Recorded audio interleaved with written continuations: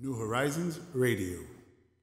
Ah, Estamos de regreso en New Horizons Radio y bueno, estamos en la recta final casi de las eh, elecciones municipales, o sea que ya empezamos con todo el pie, pudiéramos decir, con el tema de las elecciones de este año, este año eh, electoral, que lamentablemente pudiéramos decir que nosotros no pasamos la, la- la vida en años electorales porque todo el tiempo hablamos de elecciones, sin embargo, eh, hay que hablar de cuáles son los candidatos, de qué están presentando. Históricamente vemos cómo hay gente que se mantiene eh, con unos perfiles que de repente la gente dice, pero ¿tiene realmente madera? ¿Pudiera desempeñar?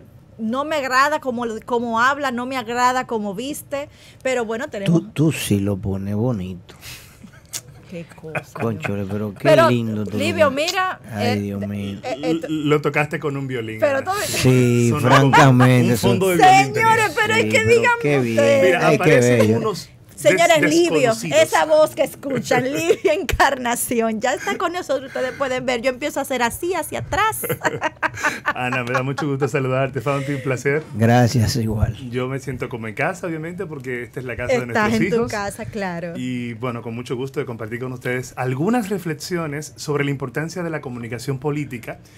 ¿Y tú la vas a tocar con violín? No, pero vista, vista desde su real propósito, que al final lo que busca la comunicación política, la buena comunicación política académica, es que las gestiones públicas puedan transferir a los ciudadanos un buen ejercicio de la administración del poder.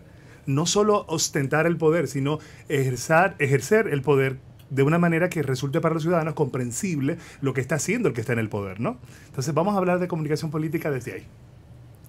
Que, la, que el ciudadano res- le resulte comprensible lo que están haciendo los que están en el poder. Así es. Y de alguna manera que eso se traduzca en el fortalecimiento democrático.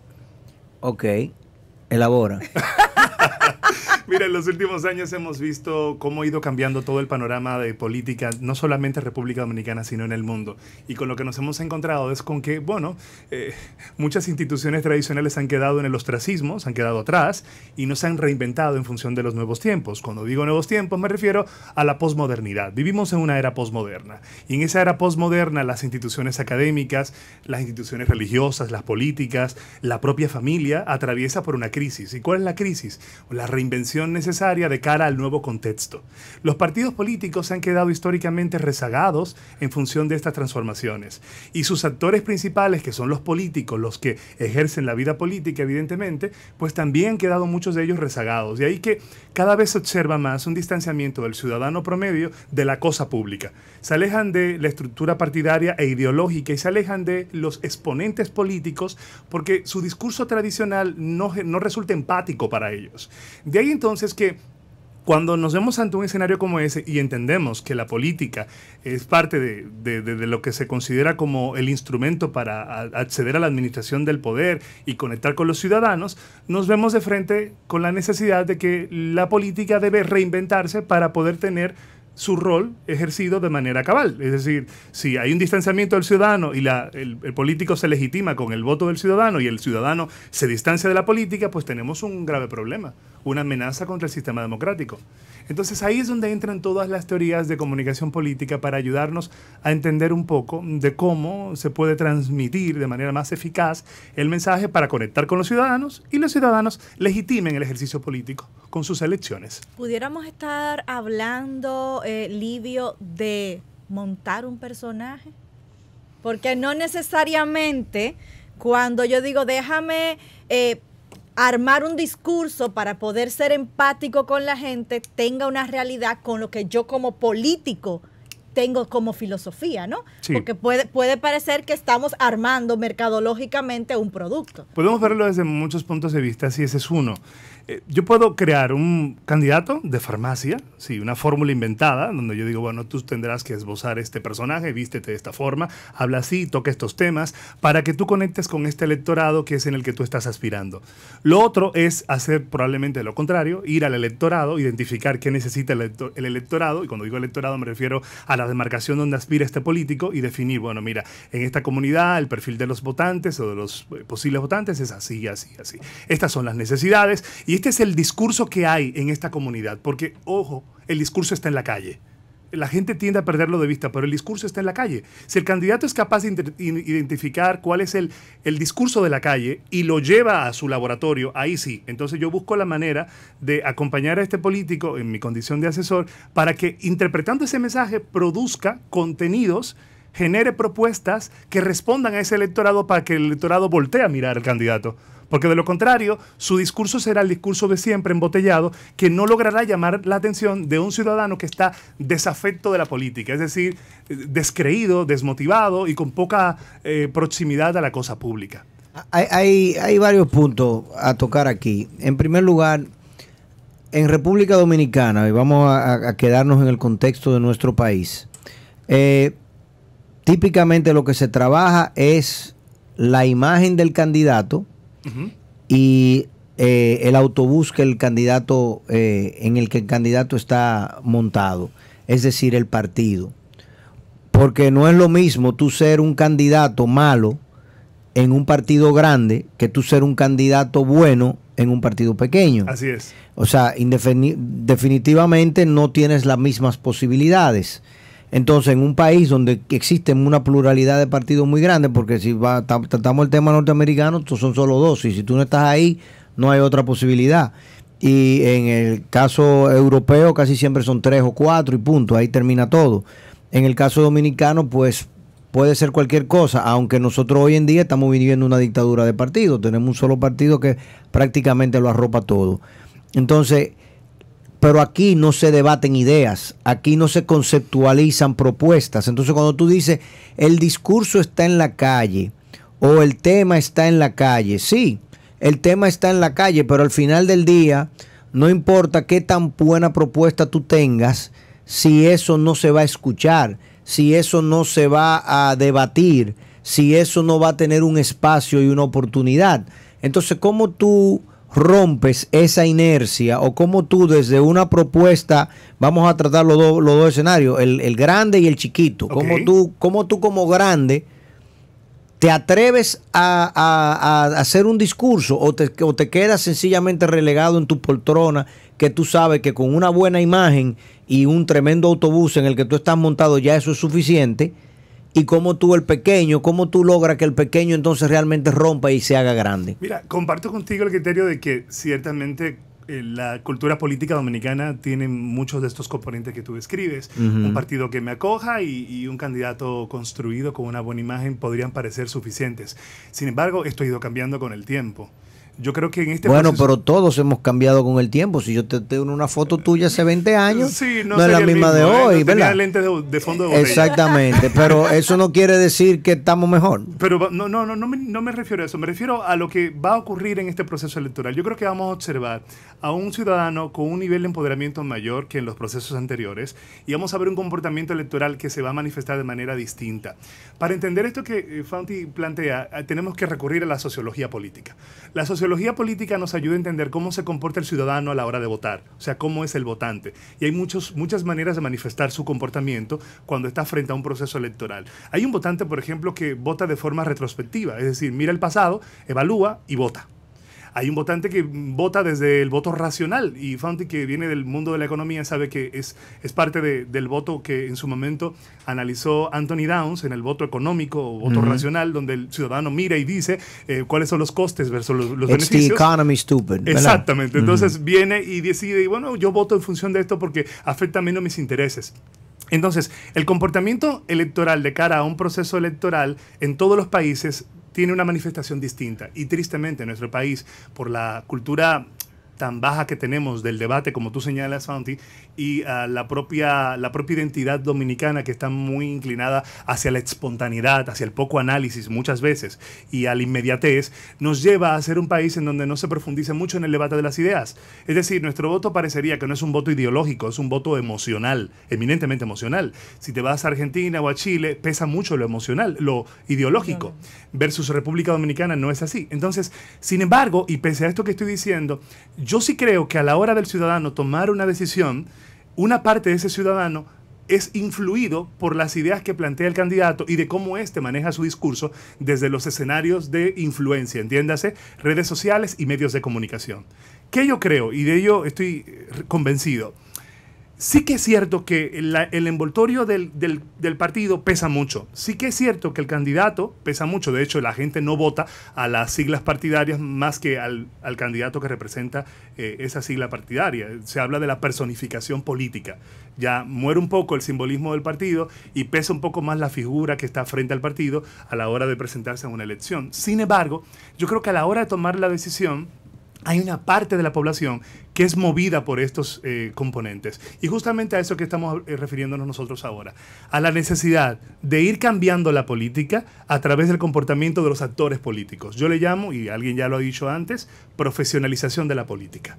Tenemos que comenzar a hacer que nuestros candidatos políticos eh, nos presenten propuestas.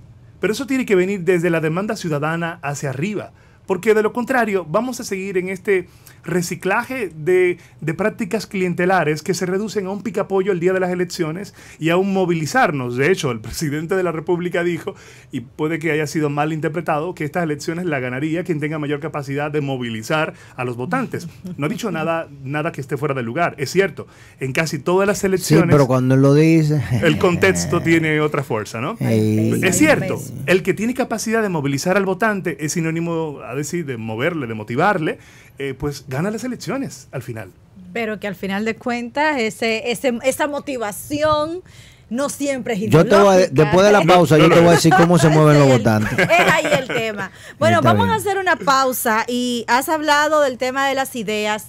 Hay en estos días una ola, pudiéramos llamar, de debates, de paneles, de iniciativas de segmentos privados, eh, de que la gente se siente co- los candi- a escuchar a los candidatos, pero los candidatos no quieren hablar. Es parte de la cultura. Vamos a hablar de qué proyecta un candidato cuando falta un debate, qué dice cuando no dice nada. Ok, muy Y me bien, pare- excelente. parecí casi a un candidato que anda por ahí. Ay, ya regresamos. New Horizons Radio. Estamos al aire nueva vez a través de Neón 89.3 y bueno, pues recuerda que puedes vernos y escucharnos a través de nuestras plataformas en redes sociales, YouTube, estamos en Instagram también live, estamos en Facebook y en Twitter. Estamos conversando con Livio Encarnación, experto en marketing y comunicación política y bueno, si quieres eh, compartir alguna impresión, hacer alguna pregunta, bueno, pues ese es el canal. Livio, Precisamente eh, el lunes vamos nosotros a dar una noticia con relación a esto de propiciar debates, porque es una de las cosas que estamos en New Horizons trabajando desde hace muchos años y tratando de lograr que los partidos políticos eh, empiecen a expresar ideas. Acá en República Dominicana yo siempre he dicho que aquí no hay ni izquierda ni derecha. El Partido de la Liberación Dominicana, como su nombre lo indica, en teoría cualquiera pensaría que es un partido de izquierda Y que promueve ideas liberales. liberales y progresistas. Y cuando tú, o sea, tú lo, tú lo eres un europeo y arribas al aeropuerto de las Américas y te dicen el partido de gobierno es el partido liberal, porque es el partido de la liberación dominicana. Tú dices, ah, muy bien, entonces ustedes tienen grandes propuestas progresistas con relación al aborto, con relación a los derechos de los homosexuales, con relación a la defensa del medio ambiente, con, la de, con relación a, a la protección de la familia. Eh, sí, yo sí, claro, claro, tenemos muy... ¿Y cuáles ustedes- son? ¿Y cuáles son? ustedes, ustedes son una nación que no promueve el libre comercio, eh, que tienen vi- visión de- sobre la inversión pública. No, todo lo contrario. El Partido de la Liberación Dominicana es un partido de más derecha, conservador. De la conservación dominicana. de la conservación dominicana. Y el Partido Reformista, No que también debió haber sido de reformas, No reforma nada. nunca presentó una reforma a- a- al Congreso. Es tan así que ha dejado de existir prácticamente el escenario político. Las únicas, sí, pero eso es otra cosa, pero como reformas, eh, porque el, el Partido Reformista terminó siendo el partido de Joaquín Balaguer y Joaquín Balaguer gobernaba, digo yo, como, como digo yo, que lo escuché de otras personas en aquella época, eh, Joaquín Balaguer gobernaba por, por instinto y por error y ensayo. O sea, él iba en la carretera a una inauguración los jueves, porque todos los jueves de manera eh, sistemática había que inaugurar, aunque sea una letrina, pero todos los jueves, yo que trabajé en una plan, ese helicóptero despegaba hacia una inauguración. Todos los jueves. O sea, eso era fijo. Había que inaugurar algo. Imagínate tú, o sea, un gobierno que todos los jueves inauguraba algo. Como- Entonces, como que cuando él llegaba a ese sitio y en ese sitio le decían que la carretera, carretera tenía hoyo, había que tapar la carretera. Esa era la reforma. pero las únicas reformas grandes que hizo, la hizo obligada en el año 90-92, cuando el, el país se trancó a banda. Entonces, ¿Cómo nosotros logramos en un país donde las ideologías no existen, sino que lo que existen son las imágenes y los grandes mercados electorales que se llaman partidos, eh, tú empujar hacia una, un, un, el desafío de las ideas? No hay otro camino que no sea utilizando el mensajero. El mensajero es el candidato, son los líderes políticos. El ciudadano se encuentra desafecto. La desafección política no es más que el resultado de lo que tú describes, Fanti. Es decir, la gestión pública ha dejado un lastre. Ese lastre se traduce en una afección sobre la, la querencia del ciudadano para la cosa pública.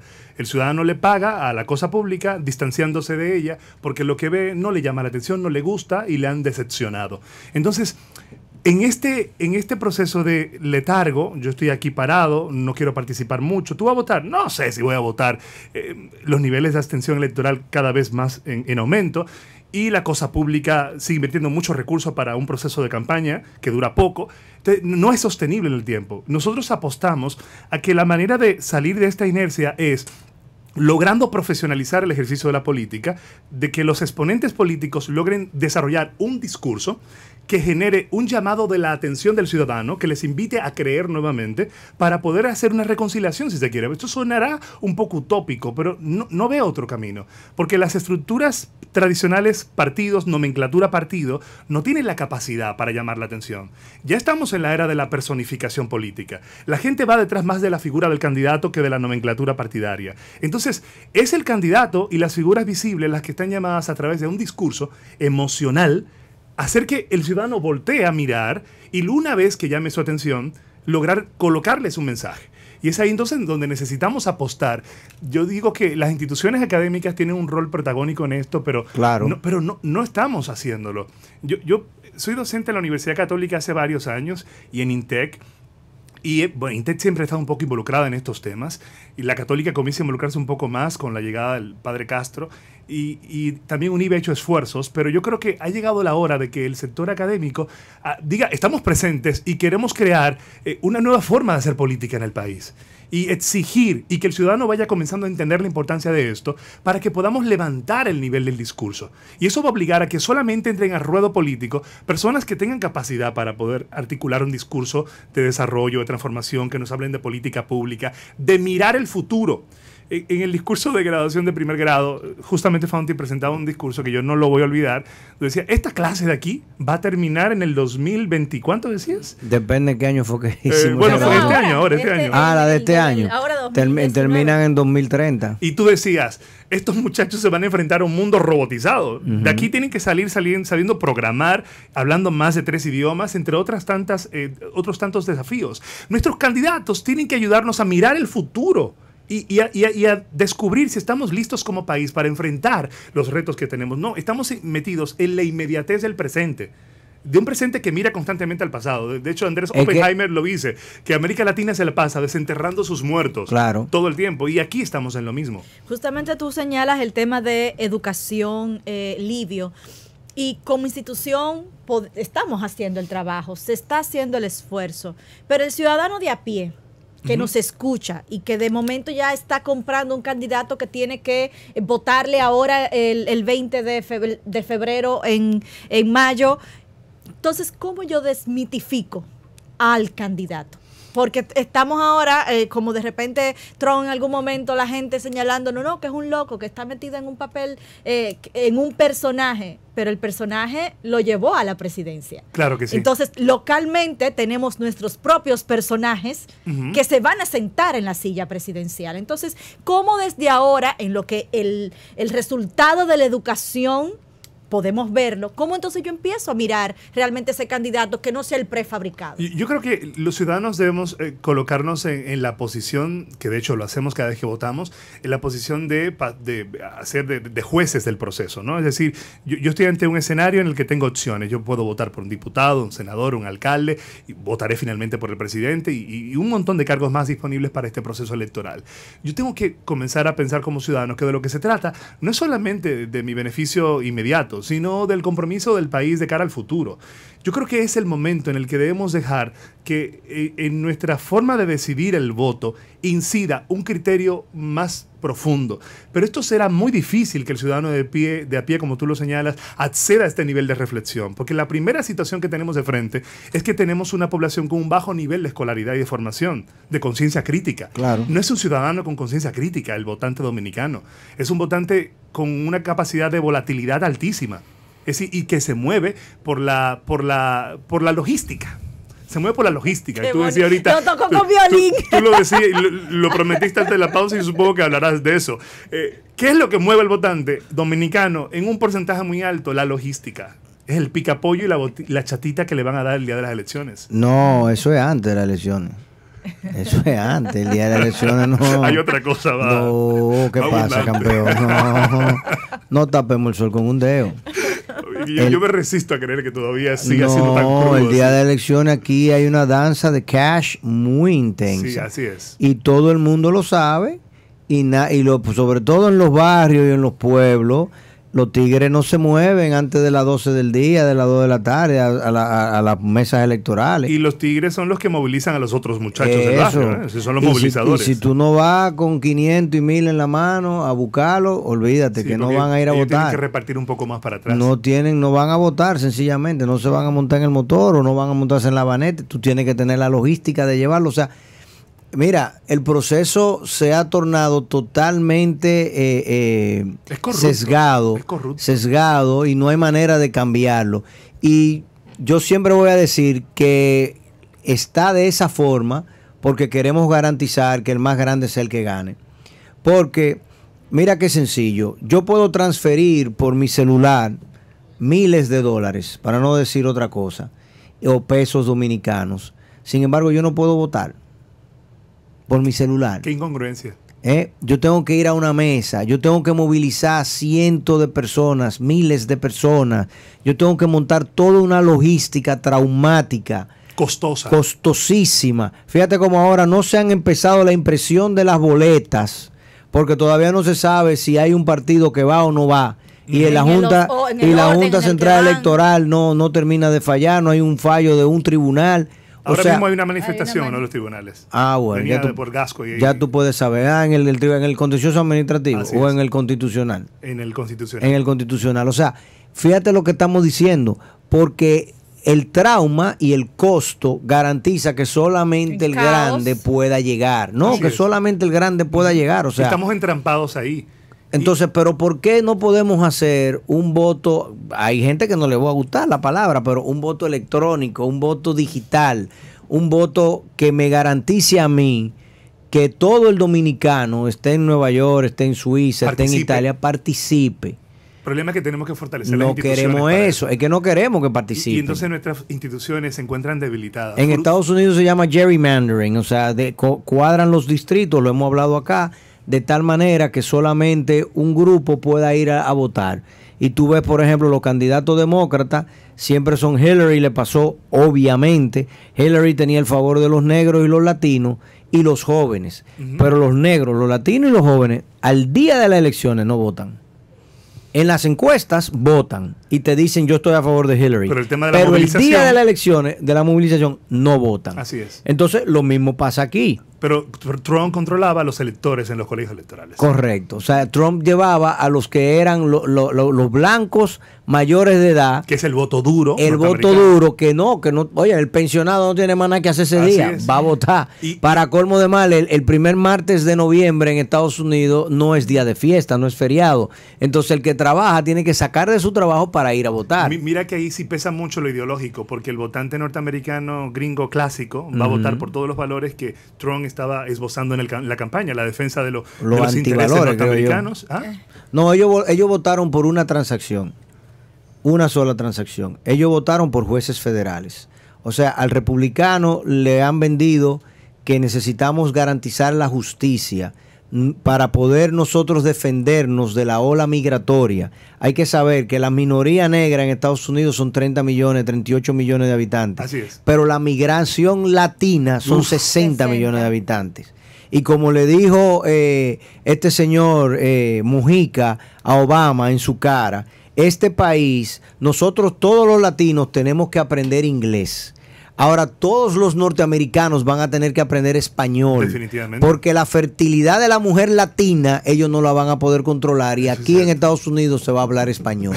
Obama no estuvo muy contento con esa. sí, claro, esa- la cara que él puso cuando Mujica le dijo eso es, es una, es una foto, una Es un fotografía. poema, es un poema, ¿entiendes? Entonces, eh, en Estados Unidos, esa ha sido la realidad. En nuestro país no es un tema migratorio, no es un No. tema de discriminación de raza ni de etnias, digamos. Es un tema de clases sociales y es un tema de realmente de dinero. O sea, tú tienes que tener mucha plata el día de las que elecciones. encuentra su, su caldo de cultivo en una población con bajo nivel de escolaridad y formación para Claro. acceder a esta reflexión. Por eso esa fiesta, la, la famosa peinadora que. Balaguer, ¿verdad? Jacinto Peinado le, le- le puso. Primero Balaguer daba eh, fundita, después vinieron la peinadora y después vino Amable con todo, entonces regalaba hasta pollo y cerdo, y Cerdo, daba del helicóptero. salamis cerdo. Del helicóptero. o Jamás sea, lo superaremos. No, Bueno, es- sí, insuperable. Ante un escenario como este, nosotros, los profesionales de la comunicación que creemos que creemos en el ejercicio honesto de la comunicación, lo que estamos proponiendo es apoyar a la mayor cantidad posible de propuestas políticas que tengan contenido, Discurso propositivo. claro. candidatos que se hayan preocupado por identificar problemáticas para solucionarlas, gente con probada honestidad. Y yo, particularmente yo, accedo a asesorar a candidatos que com- comulguen con mis valores y mis principios y con los principios del país que yo visualizo. Entonces, acompañarles a acceder a esos espacios de poder para que desde allí podamos comenzar a hacer un proceso de transformación que nos permita garantizar a nuestros hijos que, que se quieran quedar en República Dominicana. Es Que, una- que- que esa si, fuga de que si salen del país sea buscar alguna formación complementaria, pero que quieran regresar al país. Porque yo sé que por la cabeza de muchos de nosotros ha pasado en algún momento, bueno, eh, ¿qué, qué hago aquí, no? Y, y en parte es al ver las cosas ridículas que ocurren en el escenario político. Sí. Y eso no podemos seguirlo permitiendo. Necesitamos hacer que los dominicanos sientan amor de nuevo por su país, pero la verdad es que el comportamiento político muchas veces no, no invita a esa La, pasión. la ventaja que yo veo hoy en día y que creo que, que nos, nos está mejorando, hay dos cosas fundamentales. En primer lugar, el, el- el crecimiento económico de la, de la sociedad dominicana ayuda eh, y obliga, o sea, porque desborda y eso al final eh, eh, se traduce en una mejoría. Aunque ese crecimiento se sostenga en una burbuja. ¿eh? Correcto. No, no, no necesariamente una burbuja. Como economista no estoy de acuerdo. Pero, pero sí eh, eh, es una. Obviamente la, la- la distribución del ingreso todavía sigue siendo muy Desigual. escasa, desigual. Eso hay que mejorarlo, pero eso ayuda. Y lo otro que ayuda es la tecnología, porque antes el, el político te podía engañar, te podía ocultar. Hoy en día cada vez es más difícil. La ventaja que yo veo hoy es que, por ejemplo, ya no tenemos política a los cuatro años y ya la, la gente hace vida y piensa en programas y en proyectos aparte de los políticos. Hay reglas políticas más claras. ¿Entiende? Entonces ya, ya la gente no, no se siente que el político es la única forma de yo resolver mi problema y de yo garantizar que a mi calle la van a ayudar, que a mi barrio lo van a ayudar, que a mi familia se va a mejorar es a través del concurso político, sino que yo creo que hay otras formas de lograrlo. Ya no hay tanto asistencialismo, Sí, la gente no, no, lo espera. no, el tanto. asistencialismo está intenso, Sí, pero, Pero la son, gente son dos no lo millones. eh, Sí, si pero, pero no son 10, ¿entiendes? Entonces, vi por ejemplo, las campañas no son tan largas. O sea, fíjate que ahora mismo tenemos que Carolina se tiró al, al- al ruedo ahora. hace horas, Sí. ¿entiendes? Y lo mismo pasó con el actual alcalde. Así es. Entonces, ya hoy en día la, la- la fiesta política no es tan intensa porque antes era una cosa que eran los cuatro años, nomás se hablaba de eso. Así es. Y un país que solamente hable de ese circo, en definitiva, no, no, no, No está mirando al futuro. No crece. No, así es. Lo que tenemos, dice Oppenheimer. tenemos definitivamente que tener candidatos más orgánicos, Livia. Así es. De, tú tienes una, un compromiso con nosotros, tienes que volver, porque definitivamente... Para la presidencial. que- queda queda todavía uno- un- unos cuantos Y, meses. y podemos desnudar unos cuantos candidatos aquí. Vamos a ver. Eso sería Su interesante. su lenguaje no verbal, su Eso discurso, sería interesante. su expresividad. Eso sería interesante. eso, ¿sí? Con lo de alcalde no se puede porque no se han dejado ver. Bueno, Sí. han- tal vez han- en el interior. Ahora mismo estamos llevando dos campañas en el interior y, y hay algunos candidatos buenos, Ya. pero no tienen repercusión en la capital porque Sí. es muy local, ¿no? Ya. No, y los de la ciudad acá en el distrito eh, ha dado un poquito de brega que se dejen ver. Sí. Me, quedo, me quedo con ese compromiso. han- han quedado con la cabeza un poco como Pero la ese- esa, esa, esa será una gran entrevista. Tenemos algunos sí. videos ahí y los Sí, descuartizamos aquí. Mira, exactamente. bien. Es un bien. compromiso. Señores, nosotros tenemos que entregar el compromiso del día de hoy.